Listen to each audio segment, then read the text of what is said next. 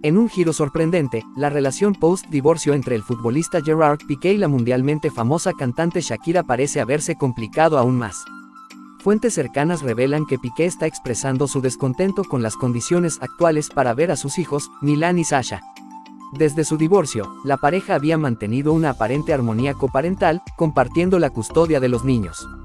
Sin embargo, recientes informes sugieren que Piqué ha planteado inquietudes sobre las restricciones y condiciones impuestas en sus momentos de convivencia con los pequeños. Esta situación ha desencadenado un nuevo capítulo en la disputa por la custodia, generando tensiones adicionales entre los padres. Amigos cercanos a la pareja señalan que, a pesar de los desafíos, ambos han intentado mantener un ambiente saludable para el bienestar de sus hijos.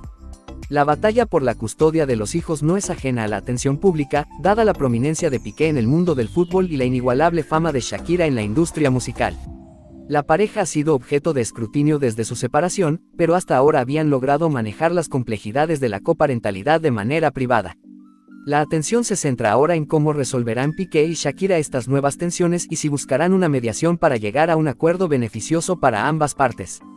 A medida que el público sigue de cerca esta historia, queda por ver si lograrán superar estos desafíos y preservar la estabilidad en la vida de Milán y Sasha en medio de las complejidades de la vida post-divorcio.